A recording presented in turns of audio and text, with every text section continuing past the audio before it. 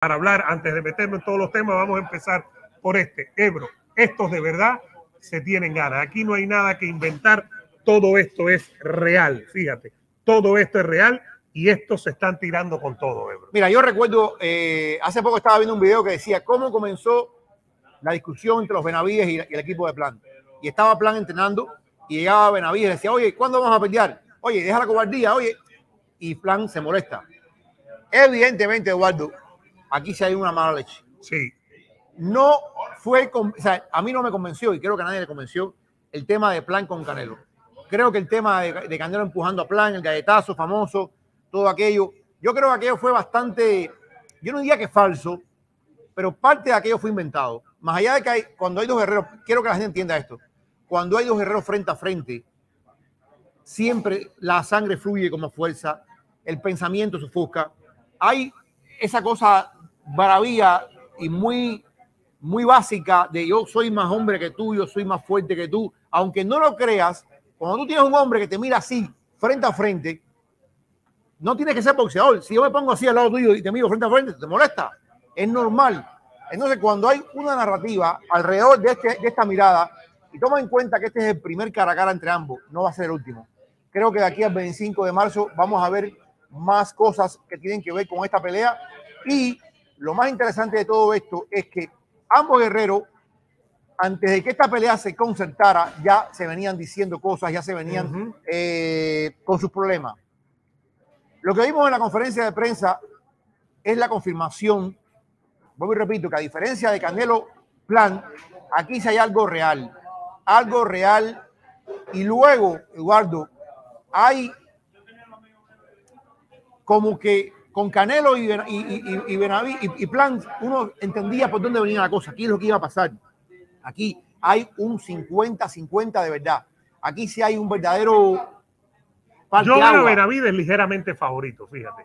Pero en el tema emotivo queda claro que estos no se quieren para nada, que aquí el disgusto eh, mental y personal es válido. Aquí no hay que, para venderlo, no hay que decir, no es que no se quiere, no es que se metió con mi tía, no es que me miró mal, no, aquí de verdad se detestan.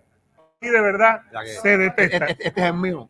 ¿Sí? Este es el mío. ¿No eres Mayo el tuyo? ¿Qué Mayo ni Mayo? Mayo, Mayo va a ser el mío en media hora. No me digas eso. ¿Cómo que no? Cuando un amigo cuando un amigo se va. Óyeme, todos son días buenos para una fumada. Eduardo, eh, yo creo que este es el preludio, el preludio, señores, el preludio de algo muy bueno. Creo que es el preludio de algo real. Y ojalá sea el preludio de una buena pelea. Yo creo que es una pelea donde hay un choque de estilos muy grande entre un pegador y un boxeador. No es que Benavides no sepa, sí sabe boxear, porque la gente a veces confunde a Rigondeado con gran boxeo. ¿Qué? qué? ¿A quién? A Rigondeado. ¿Pero cómo caemos en Rigo ahora? No, no, lo que te quiero decir es que hay formas de boxeo, hay, hay boxeos diferentes. Una cosa es ser estilista y otra cosa es ser fajador. ¿Por, qué caímos, ¿Por qué caímos en Rigo, Ebro? Porque Rigo, porque Rigo es el epítome de, de buen museo. ¿Por qué caímos en Rigo, Ebro? Rigo, Rigo, es el epítome de la defensa, el epítome de, de, de tantas cosas buenas que, que, que, hemos visto encima del ring.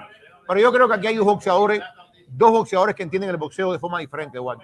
Dos boxeadores que entienden el boxeo de una forma distinta. Uno con movimiento, con juegos de manos, con combinaciones, y el otro con poder puro y duro. Yo creo que, yo, yo lo decía ayer en un video, para mí, esta es la primera gran pelea del año.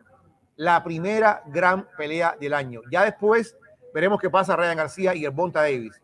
Yo no estoy tan convencido, fíjate lo que estoy diciendo, Eduardo. Yo no estoy tan convencido, o menos convencido, de que la pelea de Gerbonta y Ryan va a ser mejor pelea que esta. Yo tengo una fe que esta pelea va a ser muy buena y que incluso puede ser superior a Gerbonta Ryan García. Puede en lo boxístico, en la promoción, sabemos lo que significa Ryan García, sabemos lo que significa Gerbonta Davis y, y por cierto, ya ustedes tienen que saber ya, porque hemos publicado eso, que Ryan García se fue de Miami. Sí. Se fue de Miami, levantó campamento eh, una fuente, no puedo decir su nombre, me dijo, no le gustó la vibra. Eh, si quieres hablamos después más para adelante de eso, pero eh, yo creo que esta pelea de Plan Benadíe, estamos hablando de dos boxeadores tan distintos, tan buenos, porque son buenos, tan presentes en un momento en que esta división, esta división se mueve en arenas movedizas ahora mismo. No sabemos qué pasa con Canelo, o, pensamos que Canelo pasa, pero no pasa por aquí. Que con estos dos no va a tener, nada que ver este año. Morel todavía no acaba de entrar con todo, con todo, que queramos mucho a David Morel, lo respetemos. Su equipo de trabajo, esto no es Morel, Morel hace lo que, lo que le digan. Su equipo de trabajo todavía, creo yo, que va a ir suave, aunque me están diciendo que es muy probable que la pelea con Morel venga en la segunda mitad del año. Sería espectacular que Morel tenga un buen rival en algún momento de la primavera y después en algún momento del año enfrentar al ganador de Benavides contra Plan. Sería espectacular, sería el otro, como hablamos ayer, el camino real de la división, porque el camino de Canelo es el camino de Canelo. Yo no digo que sea ni mejor ni peor, pero no es el camino real de la división. El camino real es este, donde está Plan, Benavides y Morel. Y, Eduardo, yo creo, me gustó mucho lo que vi en la conferencia de prensa, me gustó mucho, mucho lo que vi. Eh, y creo que, que, vamos a ver una gran pelea. Oye, por suerte, saludos al doctor Juan Riol, ¿no? Que fue el que estuvo Juan Riol. Juan Riol, que llegó de Ecuador, que está aquí con su hijo, con su familia, eh, avileño, camagüeyano. Gracias por ver el programa, gracias por venir aquí a nuestra cueva, al Real Café. Lo queremos muchísimo. Gracias de todo corazón por estar con nosotros. Gracias por ser parte de esta familia que tenemos aquí. Al final lo que me queda claro, Ebro, es que esta pelea se vende sola. No sé cuánto va a ser, pero el disgusto y la mala leche que tienen entre ellos es real. Aquí no hay nada inventado. Aquí, de hecho, puso, eh, eh, el video, es con malas palabras uno detrás de otro, Ebro. Es con una detrás de otra malas palabras. Es decir, aquí esto es totalmente cierto. Esto es lo que está ocurriendo entre ellos. Ahora, ¿cuánto puede después ayudar a, vender la pelea? Lo veremos. Pero queda claro que aquí se van a tirar golpes el día de la pelea, el 25 de, marzo, Ebro, allá en Las Vegas, en el MGM Grand Resort y Casino.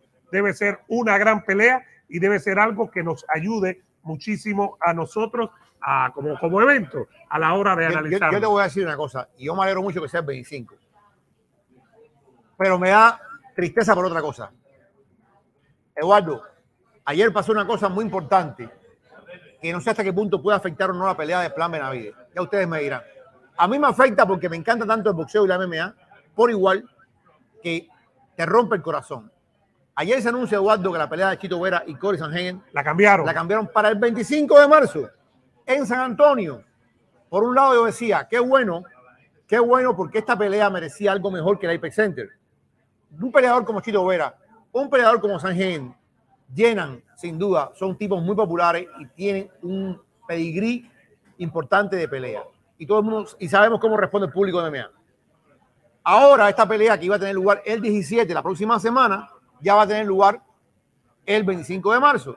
Al final son dos grandes carteleras, Eduardo. Es más de un mes eh, más tarde más de un mes más Pero el mismo día que el plan Benavides. Sí, no, pero me refiero para cuando iba a tener lugar, ah, que era eh, la semana próxima. Cállate la boca. ¿Cómo? Separa el mundo. ¿Qué pasó, Ebro? Separa la humanidad. ¿Qué fue lo que pasó? Oh, Dime. Mira quiénes están aquí. ¿Quiénes llegaron? Mira quiénes han llegado. La niña. Preséntalas. La niña, la pinta, la Santa María y la Rigondina en el Real Café. El mejor lugar de Miami, por cierto. Los jueves en Real Café, los mejores humoristas de la ciudad están pasando por aquí. Para que lo sepan, el Mundial de Clubes lo vivimos aquí y la Champions, por supuesto, a partir de febrero cuando regrese la Champions. Hay muchas rivalidades, mi hermano. Mi hermano, ¿verdad? Hay muchas rivalidades que son falsas. Pero las croquetas de Real Café son la verdad. Son lo más real. Es lo más real que hay. Más verdad. es que un templo. Es verdad. Ariel Artiaga, el pueblo te saluda. Oye, el Madrid juega con el Mallorca el domingo temprano. ¿Qué tú crees? Allá en Mallorca. ¿Qué dice Delito? ¿Qué dice Delito? Cuidado con el Mallorca o no, como dice. Ariel, Ariel, ¿quién gana, Mallorca o el Madrid? Cuidado quién cuidado con el Mallorca. Oh, Yandy, empieza a recoger croquetas. Mi hermano. Empieza a recoger croquetas. Oye, empieza a recoger croquetas. Oye, en Mallorca. En Mallorca están jugando tres vecinos y cuatro perros de Mallorca igual. No, no, no. Eh, desde la romana, aquí estuviera. ¿A, qué hora juego eso? Eh, a las 8 de la mañana, es temprano, el domingo. Dice Julio eh, Ernesto Alfao, saludos de la romana, que estuviera ahora en, República, en la República Dominicana. Dominicana. Jorge Beli, que siempre está con nosotros desde Nueva York. Un abrazo hasta la gran manzana, dice por aquí Fernando. Esas peleas para mí va a vender más que Benavides y Plan. Low Chante dice: Quería visitar el Real Café, pero con ese escudo atrás se me han quitado las ganas. ¿Te lo pierdes? Pero fíjate que está en una esquinita. Ven para acá, Luchanti, ven. Eh, seguimos por aquí. A ver, Ebro, te estoy diciendo, dice Cultura Chasqui. esa croqueta está muy fija para hacer la rigondina, que no se está moviendo. Imagínate tú. Es que está clavada, está clavada con... Diego Fernández dice que viva la marihuana. No, no, no, Ebro, ¿cómo estás? Eso es un homenaje a Juan no, no, Dice Yanoy, like, corazones, bendiciones, un abrazo para Yanoy. Dice Javier Roski, Ebro, mañana vas a estar en ESPN Boxeo. Sí, puede estar. Así que a la ¿En qué cartelera? ¿En qué? ¿En cuál? La, la, la, la, coreana. Ah, bueno, qué bien, como te gusta a ti. Eh, dice Luis, la rivalidad entre Ebro y el Beto es falsa. ¿Es falsa o es real? No, no, no. A ver, tú sabes que el Beto y yo comenzamos eh, en Bonche. Pero yo me enteré de lo que hizo un amigo mío. ¿Qué hizo un amigo tuyo? ¿Tú lo conoces bien? ¿Pero qué pasó con Tú el amigo haces llamar el carnal. No, no, él se hace llamar el No, no, carnalito. no, no, no, no. Ustedes burlonamente le dicen carnal. No, no, burlonamente Sí, no. sí, sí. No, no, Ebro, no, no. ¿Y sí, ¿Qué pasó? ¿Qué pasó con Y el carnal? Ferrero le cerruchó el piso, mi hermano. No me digas Lo eso. votaron. Un día llegó, ya sé cuánto ya, llegué a la empresa. ¿Dónde está mi carnal? Mi hermano, pero ¿dónde está?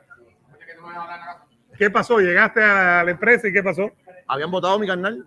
Y pregunté, una, una fuente, le dije, ¿quién lo votó? Le dijo, el Beto de un mal reporte. Mentira. El Beto de un mal reporte, más nunca le miró la cara. Saludos a Laín Martínez de Cienfuegos. Un abrazo hasta Cienfuegos para allá. La perla. Eh, exactamente. Eh, por aquí, bueno, eh, al final, para, para meternos en vaquero y lo que significa la pelea del vaquero esta noche por ESPN y por ESPN Plus, Ebro, queda claro que, que estos dos no se quieren, Benavides y Plan, y que se van a dar con todo el 25 de marzo, que falta mucho todavía por escribirse de esta pelea, ¿no? Totalmente, Eduardo, totalmente. Eh, este es el inicio. Dios mediante, aquí hemos tenido la suerte de tener la primicia, lo dijo aquí eh, el gran Samson Lekowicz. Vamos a ver si antes de la pelea, Eduardo, antes de la pelea vamos a tener a Samson para que nos dé un poquito las claves de esta pelea.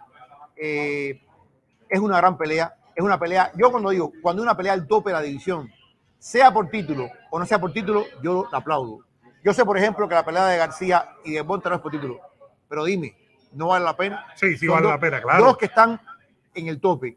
La pelea de Plan y eh, Benavides. Benavides es campeón interino. Plan no tiene nada ahora, si no me equivoco, eh, porque perdió con el Canelo en la faja. Ajá. Pero todo el mundo entiende que son dos de los mejores, que están ahí en el top 5 de la, de la división. Es una pelea que todo el mundo tiene que aplaudir y tiene que ver. Eso es lo que quiero ver. Por ejemplo, la, pelota, la, la pelea que están diciendo que para abril o mayo, Eduardo, vamos a ver que sea así, de Lomachenko con, con Heini. Eh, esa pelea va a ser muy buena. Ahora, La de Fury parece que va a ser el 29 de abril, Ebro. 29 de abril. el último sábado de, de abril, el último fin de semana de abril. esas peleas, cuando, cuando estamos hablando del el tope, del tope, del tope, hay que saludarla y hay que apoyarla. Y esta pelea, señores, hay que apoyarla. Como decía, alguien me decía por ahí, la pelea de MMA le gana esta pelea. Yo, no, yo creo que hay un público que va a estar apoyando el boxeo y hay un público que va a estar apoyando las artes marciales mixtas. No me hubiera gustado que coincidieran las peleas. Eh, no me gusta cuando hay una gran velada de boxeo con una gran velada de MMA. No me gusta, pero bueno, ¿qué le vamos a hacer, no? Totalmente. Dice KLH, le voy a plan por no más técnico, tiene más precisión que Benavides. Miguel Reyán dice. Ebro, si Benavides no aplasta a plan en menos de 10 rounds, ¿no crees que Canelo tiene razón? Bueno, en menos de 10 rounds. Plan no es jamón tampoco. Plan solo ha perdido con Canelo. Y pe- y Yo no creo, exacto, yo exacto, yo no creo que, que es un pasillito así de que van a, a- a pasarle por arriba.